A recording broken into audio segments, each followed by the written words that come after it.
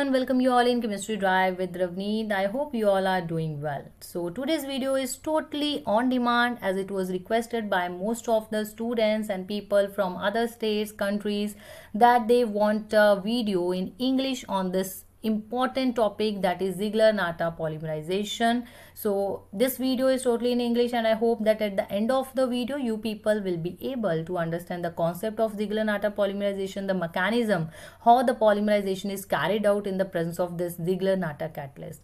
So let's start with the uh, this most important topic that is very very important uh, for the examination point of view uh, for the BSc, for the MSc and for those who want to crack like uh, net gate and all so let's start so like until 1953 what was there? The vinyl polymerization were carried out by the free radical initiators like benzoyl peroxide azido isobutyronitrile so the mechanism which we people were following that was a free radical mechanism until 1953 so then comes the two scientists carl ziegler and Giulio Natta. So they discovered, they give us the catalyst that is called the Ziegler-Natta catalyst that was definitely after their name Carl Ziegler and Giulio Natta for which they even bagged, they even received the Nobel Prize in 1963.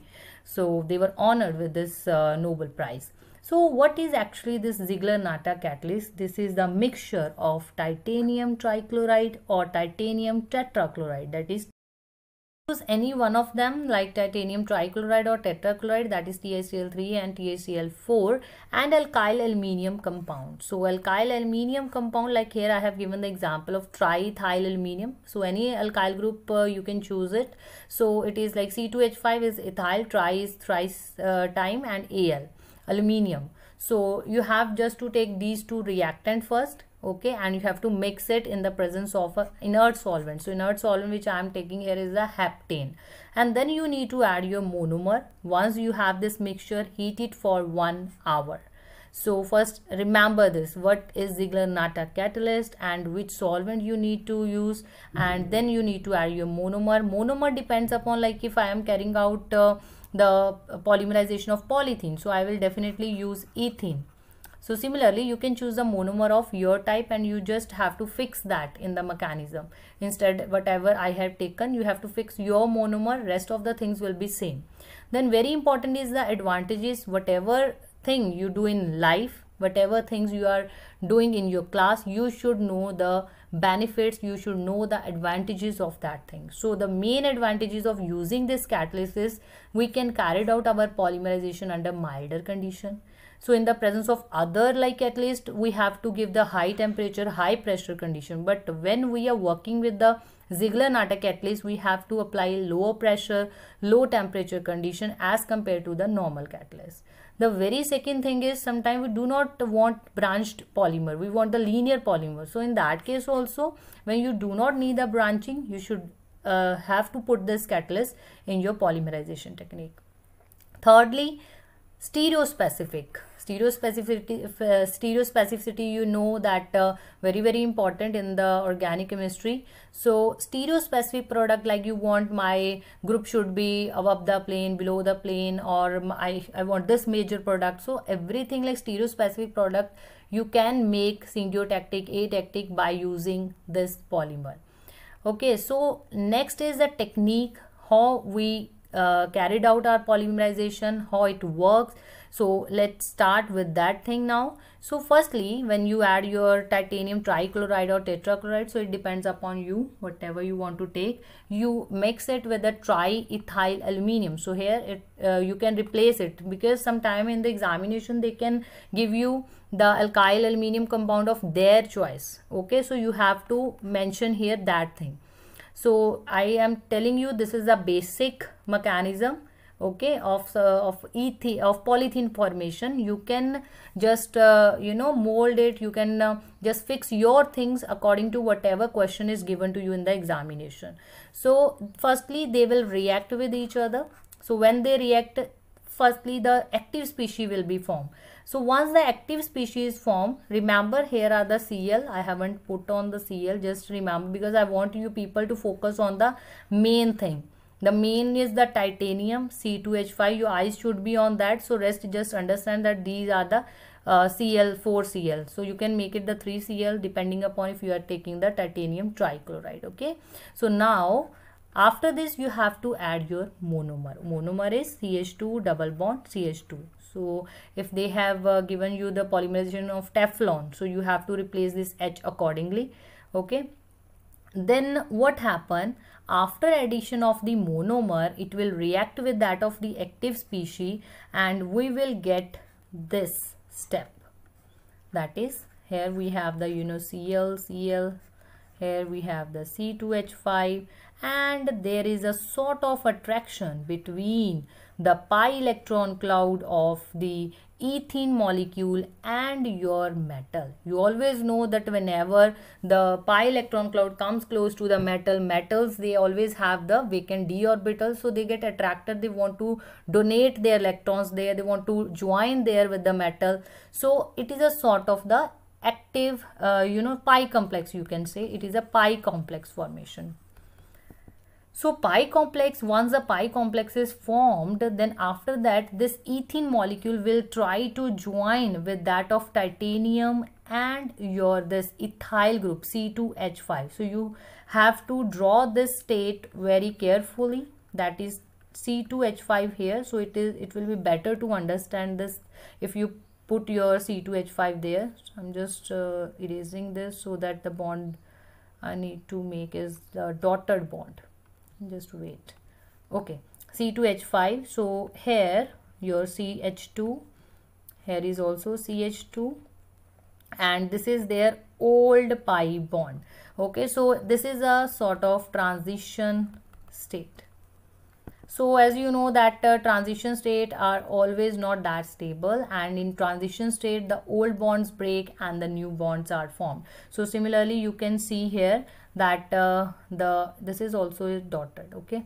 So dotted means new bonds are formed and this old bond pi bond is also breaking. So this is the transition state okay? After pi complex we have the transition state so then what happen is you have to just remember this C2H5 you have to turn it like this. It will be easy to form the next step if you remember that I am going to just turn this C2H5 so I will get this state that is. So here we have the, your. Whatever monomer is given to you you have to just insert it in between your titanium and your C2H5 remember this okay? So this step as your monomer it gets like sit inside between your uh, titanium and C2H5 so this step is called the insertion step. Insertion step. Insertion step is whenever your monomer unit get inserted inside your metal and this is your metal and this is your alkyl group. Okay? And this is your monomer.